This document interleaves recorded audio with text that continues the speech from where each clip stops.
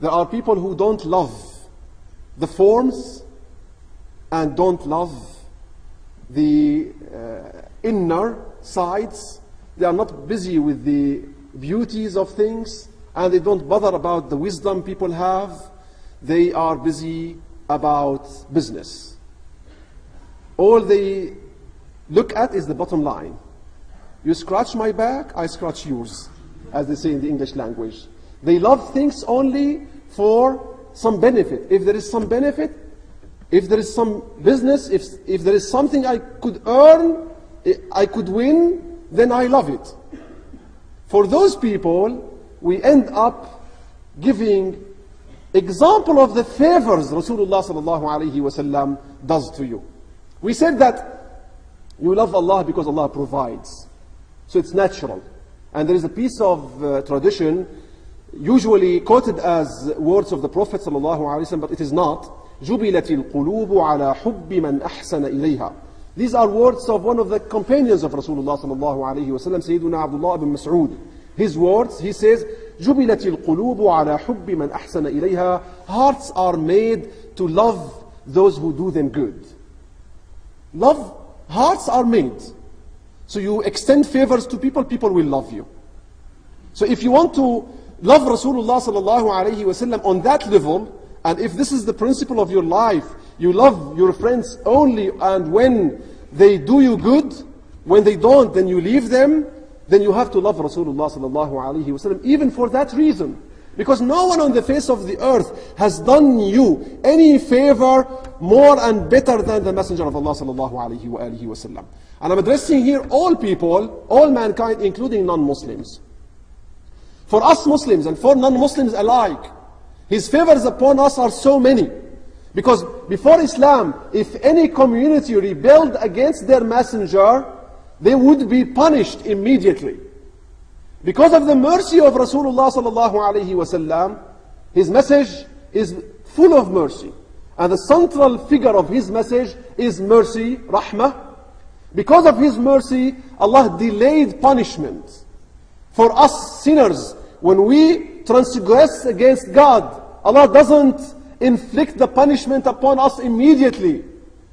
Also the unbelievers, with all their rebelliousness against God, with all their blasphemy against God, Allah doesn't inflict the punishments upon them immediately. It is because of the mercy of Rasulullah sallallahu alayhi wa alihi wa sallam. It is because of him sallallahu alayhi wa alihi wa sallam that we are enjoying now this life and enjoying this, these bounties of Allah subhanahu wa ta'ala. Brothers and sisters, if you want to look at Rasulullah sallallahu alayhi wa and what he has done to you, you will be surprised. If you want to get someone to do you good, you know, supplication to God, you're a believer in God, and someone supplicates for you, you appoint someone, you pay him a salary. All your job is to sit from 9 till 4 till 5. How much? How many hours can they work? How much can you pay them just to make dua for you? Make just sit and make dua that Allah forgive me. Brother, sister, here is some money, sit and make dua for me.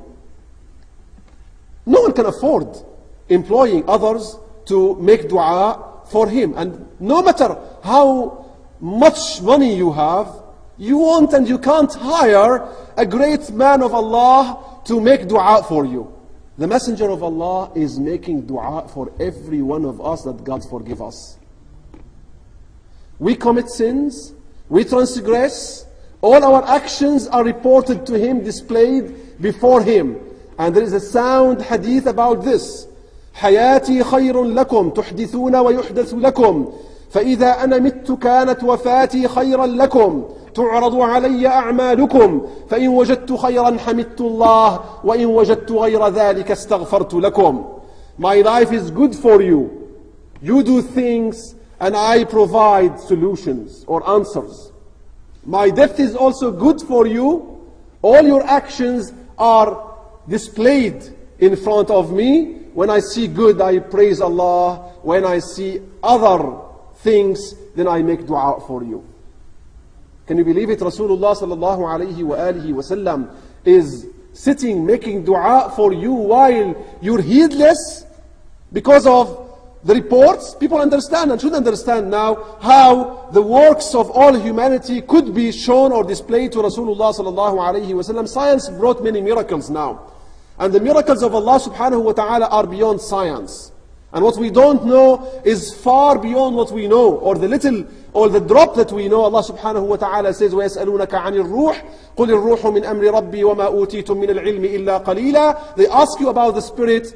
Say the Spirit is a matter that belongs to my God. You have not been given of knowledge, but a little drop. Furthermore, we say, Allahumma salli ala Sayyidina Muhammadin wa ala alihi wa sahbihi wa sallim. Prayers and blessings be upon the Messenger of Allah. This is actually a divine command in the Quran al-Kareem. After Allah told us, إِنَّ اللَّهَ وَمَلَائِكَتَهُ يُصَلُّونَ عَلى النَّبِيِّ Allah and His angels send prayers upon the Prophet. Allah says, commanding us, يَا أَيُّهَا الَّذِينَ آمَنُوا صَلُّوا عَلَيْهِ وَسَلِّمُوا تَسْلِيمًا All ye who believe, pray upon Him. A lot of prayers and send a lot of salam upon Him. So one of the most beautiful ways of coming closer to Allah is praising the Prophet and praying upon him. It brings you closer to Allah subhanahu wa ta'ala. It gives you the job of the angels. The angels are busy praising Rasulullah sallallahu alayhi wa alihi wa sallam. You take their job and you praise Rasulullah sallallahu alayhi wa alihi wa sallam. It's one of the best indirect way of achieving the character of Rasulullah sallallahu alayhi wa alihi. Because reading about his character, about his truthfulness, about his uh, uh, tolerance, about his uh, brave, bravery, about all of his beautiful character, sallallahu alayhi wa alihi beautiful traits, makes us yearn to embrace his beautiful traits and virtues. The best way is making a lot of mention of him, making, sending prayers upon him, sallallahu alayhi wa alihi wa sallam. Allahumma salli ala Sayyidina Muhammad wa ala alihi wa sahbihi wa sallim.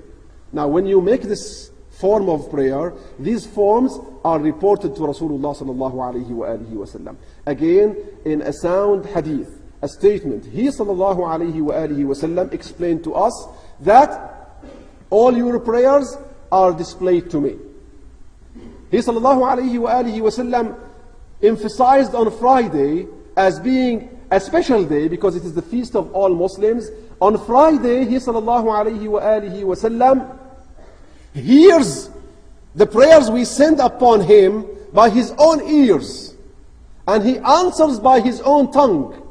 إن عند رأسي ملكا يبلغني الصلاة علي من أمتي إلا يوم الجمعة فإني أسمع بأذني وأرد بلساني There is an angel at my head, Allah has signed, an angel at my head that conveys to me the prayers my ummah send upon me or to me. Except on Fridays, I hear with my own ears and I answer with my own tongue. قال وكيف تسمع يا رسول الله The Sahaba wondered. They were not stupid.